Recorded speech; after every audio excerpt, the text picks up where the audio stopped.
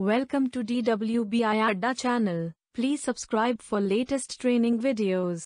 Hi guys, welcome to another tutorial on MuleSoft. So today in our tutorial what we're going to learn is how to successfully install Anypoint Studio on our devices as well as gain access to MuleSoft's Anypoint platform. So let me just quickly draw up an outline of all the steps we'll be going through today in order to successfully install Studio on our devices. First thing we'll do is register at mulesoft.com. After that, after we've gained access to mulesoft.com, we're going to download and install Anypoint Studio. The next thing to do is install Java on our systems. And the last step in making sure that Anypoint Studio runs successfully on our systems, we need to configure some variables in our system as well as make changes to a certain Anypoint Studio file. So that's it, that's all we'll be doing today. Let's get started with the first step that is registering on MuleSoft. So we'll open up a browser, go to mulesoft.com and once we are inside mulesoft.com this is what we will be able to see. These are all of MuleSoft's offering here. We won't get into it right now. For now we're just worried about creating an account on MuleSoft. So for that what we'll do is click on this free trial button here. This free trial will provide you access to all of MuleSoft's features for a period of 30 days including MuleSoft Anypoint platform as well as Studio. So in this sign up page we'll fill up all our details. Make sure to put in all your correct details and uh, for fields like company you can make a company of your own. Let's just say ABC here, no worries. Choose a username and a password and hit accept and create account. And after that as you can see you are automatically signed into into MuleSoft's Anypoint platform and have access to all of its features. Anypoint platform by MuleSoft is uh, an amazing resource which helps us in designing, building, publishing, and managing our APIs with all of its uh, powerful features. We'll uh, take a closer look at uh, each of these features that Anypoint platform provides in a later video. For now, let's move on to our next step, which is downloading Anypoint Studio on our PCs. So again, we go to mulesoft.com and on the home page of mulesoft.com you'll see this products tab hover over it and you'll see a drop down and the drop down you'll see all of the products and under get started you'll see download studio and mule so click on that and make sure that you're downloading anypoint studio 7 and mule 4 here we have to select our operating system. Make sure to select the appropriate system whatever configuration your system runs.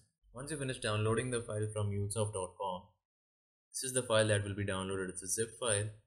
So make sure you have a compression software installed on a system prior to this so that we can extract this zip file. To extract it we'll right click on it and select extract to anypoint studio this won't run for me because I have already extracted the same zip file before and here is the extracted version of the zip file this is what you get in the anypoint studio Anypoint Studio needs no installation as it comes with its own application file. It only needs to be configured properly to run on this system. So let's move on to the configuration part of it and install Java on our systems. Download Java. Simply look up Java SDK 8 in Google and click on the Oracle site for Java SE Development Kit 8 downloads. This will take us to the downloads page for SE Development Kit 8 with various operating systems supported. So make sure to select the relevant configuration that you are running. Let's say you're running Windows x64. You click on this download button. You click on this button then and download JDK. So in order to download Java SDK, we need to have an Oracle account. In case you already have an Oracle account, well and good. And if you don't have an account, no need to worry, we can create an account right here. Once you click on Java SDK download, this is the page that pops up. And in case you already have an Oracle account, you can put in your credentials here and sign in. Once you click on sign in, the download should automatically start for you. In case you don't have an Oracle account, we can create an account right here. Make sure to fill in all your relevant details here correctly and after you're done filling in all the details, click on create account.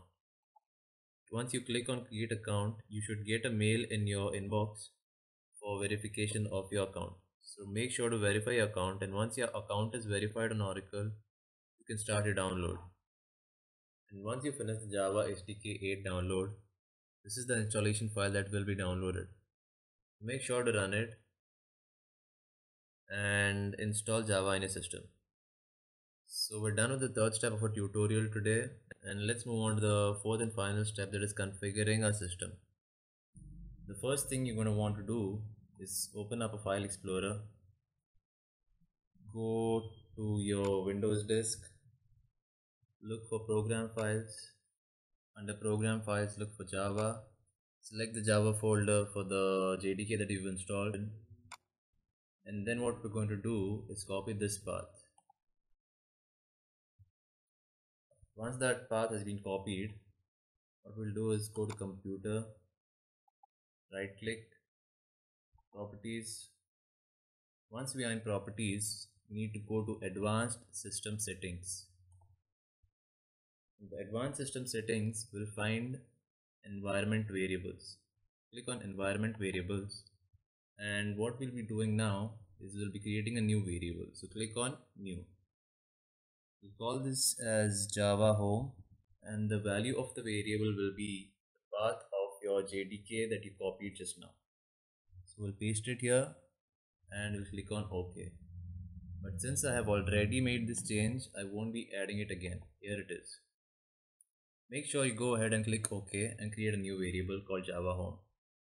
After that's done we can close this and move on to the final step that we need to undertake in order to run MuleSoft successfully on our PCs. That involves opening up this extracted Anypoint Studio folder that you downloaded and extracted from the zip. In Anypoint Studio folder, you'll see a file with an INI extension. This is it, anypointstudio.ini as you can see. What we'll do is open this anypointstudio.ini file with WordPad. And what we're going to do is make sure that this path is the same as what you copied from your uh, JDK folder just paste that over here again. I had already configured this before but yours might not be the same way. So please go ahead and make sure that VM the path under VM corresponds to the JDK folder. Right? VM is located right in between plugins and VM args. So after that is done you can save the file. And we are good to go so that is all the steps we need to take in order to run Anypoint Studio successfully on our system. The next thing we can do is go ahead and open this Anypoint Studio. It'll take a couple of minutes to load on the first time. So here we are asked to select a workspace. So make sure you select a proper location for your workspace and you can just click this to set it as a default workspace and click on launch. And as you can see, we have been able to successfully launch Anypoint Studio on our systems by making a couple of changes in uh, environment variables as well as the .ini file. So this is what Anypoint Studio looks like.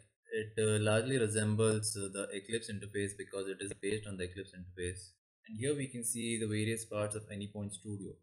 This gray area that you're seeing in the middle is called as the canvas. This is where we'll be designing most of our integration. Basically all of our integrations over here will be designed using components that we pick and drop from the Mule palette. This area will be populated with all the Mule components once we create a project. So as you can see this is the package explorer. This is the console. This is where we see the logs of our applications. And that is it guys we will uh, take a deep dive into Anypoint Studio and MuleSoft Anypoint platform in later tutorials. Thanks for watching.